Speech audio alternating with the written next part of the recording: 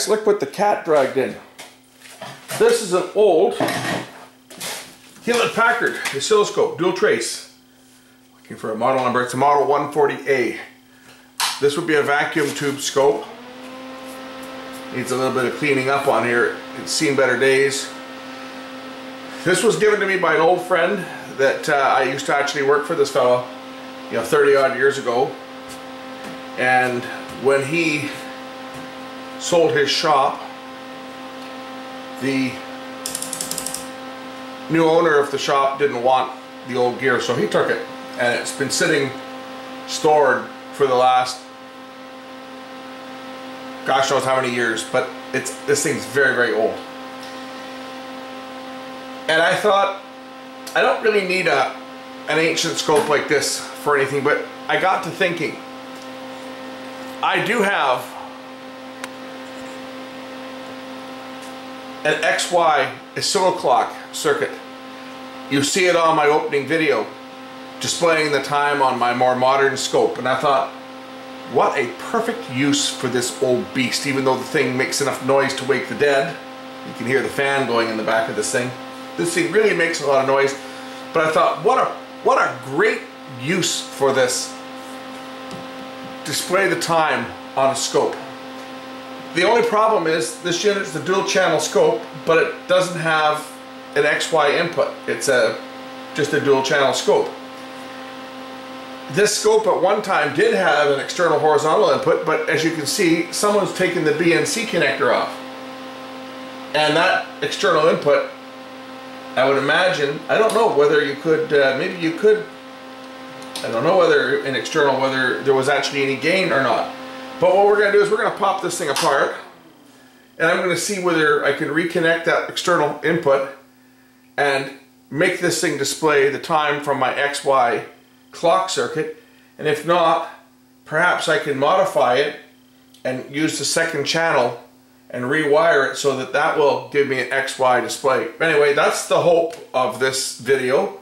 As you can see, these units were very well built and they were designed for servicing in mind. You just undo this lock screw here and these modules unplug, revealing all the tubes that this thing's got in it.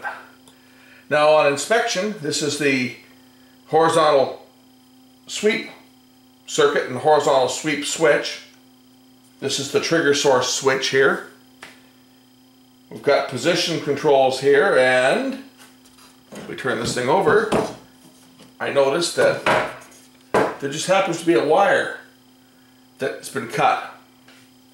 And I'm going to guess that that wire originally went to the horizontal input, the external horizontal input. So what I'm going to do is I'm going to just disconnect the wire here from the external trigger and we'll move the horizontal input wire up to here. I'm not even going to bother to physically move the jack. That's too much work. This one's already screwed in to the circuit. I guess I could undo it, but um, I'm just thinking I'm just going to change the wire over for now and see whether this unit will actually work. If it will function like that, then maybe I will, just for cosmetic reasons, move the plug down there. But then again, if I'm going to use this thing for a clock display, I may be further ahead just to put my clock circuit and actually mount the little circuit board inside the case and put some time setting switches on the front panel for setting the time. But let's see if we can get this thing working first. I think this would be a perfect little project. And if nothing else, it'd be one hell of a conversation piece for my bench here as a time display. And then maybe work on getting a little quieter fan for that uh, power supply, that cooling fan, because this thing just, as you can hear, makes one quite quite a racket. I'm just waiting for my uh, iron to warm up and then we'll transfer this wire over and see whether we're able to make this thing work easily. If not, I'll be getting into some of the other uh, circuitry to see if I can rewire the second channel amplifier to uh, the horizontal circuit. So the first thing I'm going to do is I'm going to go in here and I'm going to unsolder the existing wire that is on the external input. We'll get that one out of the way. And then I got to get the other wire from the bottom up top here so that I can connect it to this connector. Now once again, this is the piece of cake because these units here all use point-to-point -point wiring, so it's just a matter of relocating that wire to the top and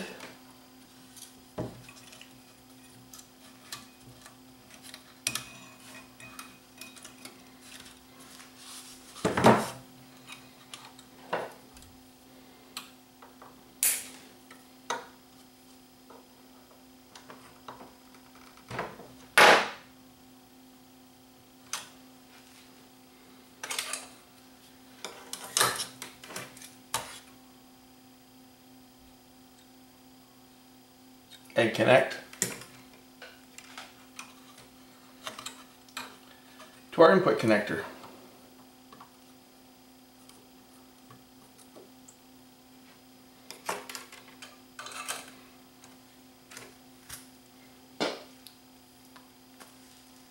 And we just had a power surge. I don't know if you caught that or not, but the lights just flickered here and and the lights just flickered again. We just had another power surge. Won't affect the camera because it's battery powered, but we still had a surge. Okay, I get my scope probe here. We'll see whether this thing's gonna have any horizontal input on it. And that would be really nice if I didn't have to do any more work other than to reconnect the external trigger input as a horizontal input. We'll turn the turn the scope back on here.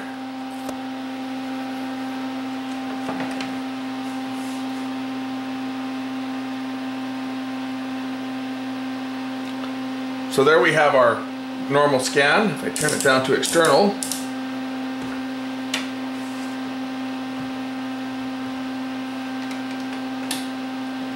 it does look like we do have some some gain whether we're going to have enough.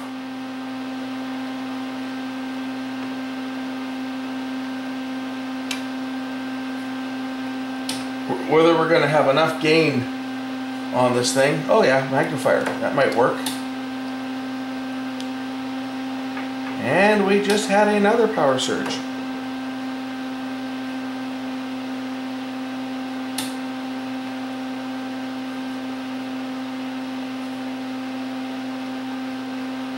Looks like we may have enough input. I'm going to go grab that clock module and we'll hook that clock module up and see whether it works. So here we have our little oscilloscope uh, clock module. We'll reconnect it up here and see whether we get anything. Holy smoke. Look at that, it works. Wow. Actually, it works really quite well. It's almost filling the full screen. I don't have this thing in um, in uh, magnify mode either, so I wonder if I magnify this thing, and then we can adjust the gain here. Where did it go? Oh, there it is, there. Cool.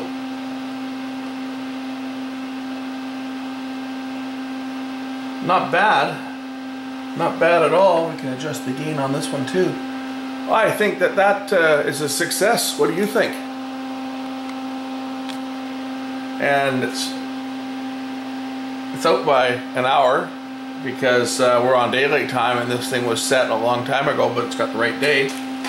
Uh, I would have to say that uh, this is a 100% absolute success or if I can get a little more brightness out of that uh, CRT, but uh, it certainly is nice and sharp. And uh, there's no problem at all reading that.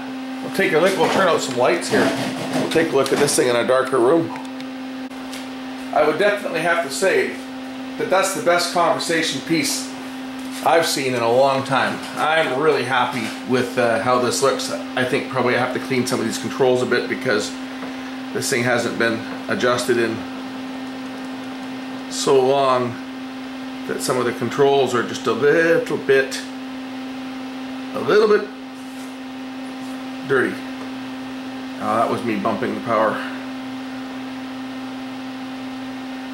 But uh, all in all, I'd say that this is a success.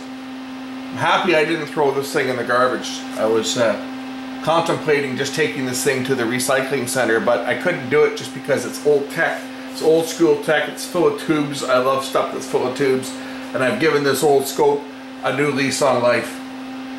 Now I'm going to, I think what I'll do is I'll take this module, maybe, maybe not, but I can take the module and build the module inside the case itself and have it powered up so whenever the scope is turned on, because this thing here retains, it has uh, memory, so if I unplug the power and I plug it back in, it'll retain the time.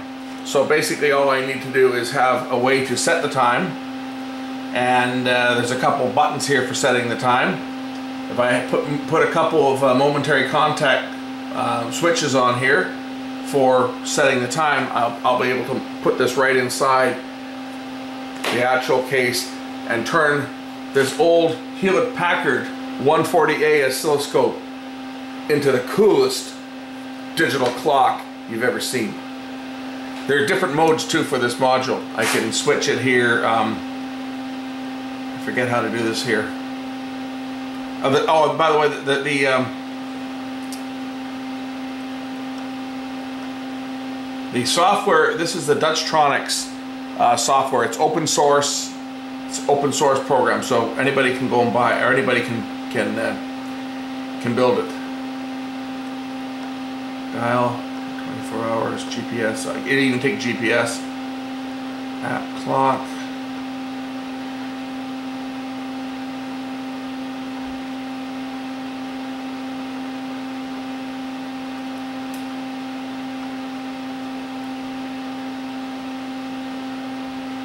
You can even have a digital clock like that. Instead of having the time display, you can have it display as a digital clock. Very cool. I think I'm gonna get, just for the fun of it, we can go through some of the menus and see what this thing can do. So I can change the, whoops, I can change the dial, Roman numerals, dial digital, right? I can change dial binary dial minutes. So it only shows 3 6 9 and 12 dial back to 12 hour. And I don't know what this one does. Dial 24 hours because it looks exactly the same as dial 12 hours. And then back to Roman numeral or digital do you see difference between that and that?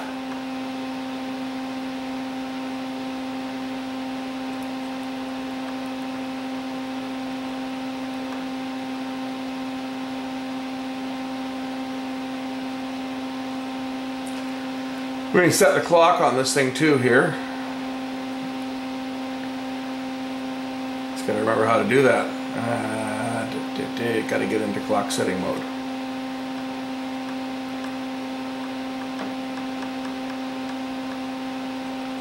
It's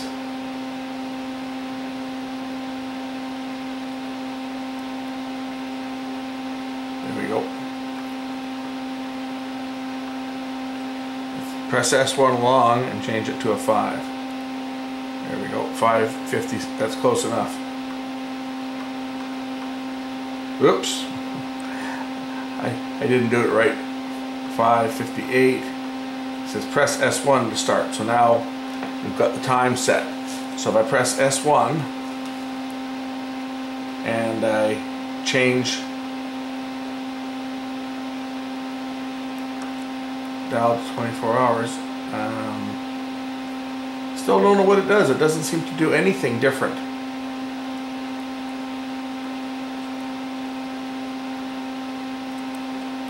Digital, well we know what that does.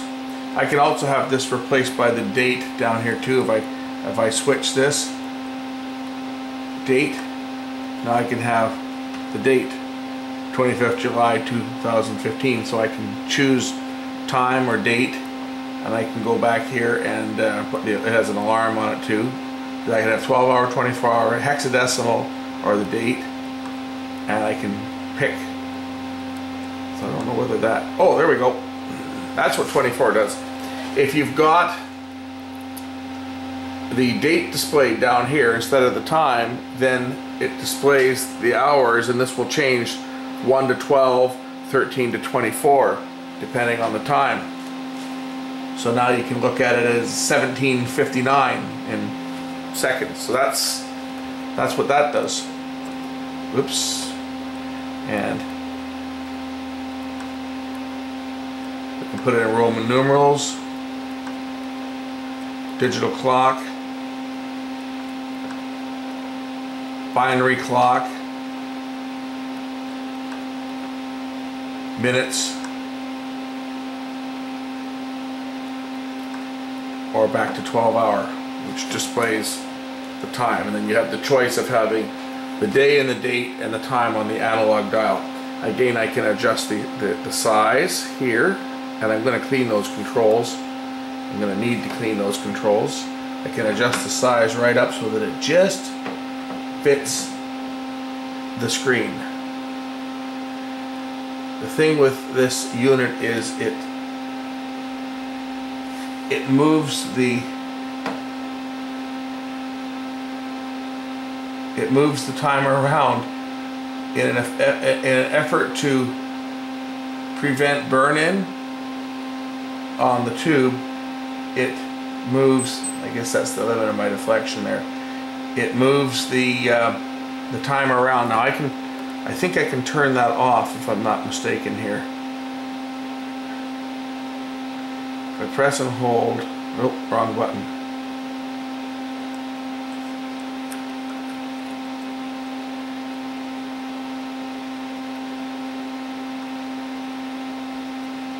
What's it say here? It's this one. Here we go, burn.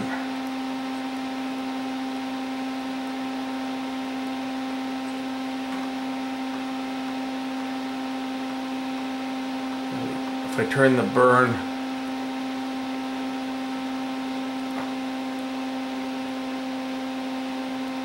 I can turn the burn in off and now it won't uh, move this thing around on the screen but obviously the whole point in it moving around the screen a little bit every few minutes is to um,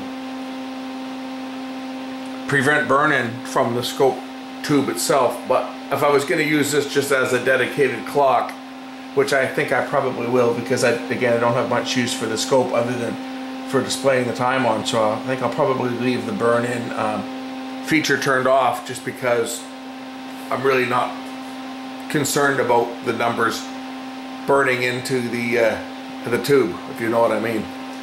If it was a nice, expensive, uh, good scope that I was using for other stuff, then I'd be a little more concerned about that. But in this case, I'm not really that concerned whether it burns or not. So, anyway, now I am done with this video. Thanks for watching. We'll catch you in the next, next, next, next, next one. Catch you in the next one. Bye.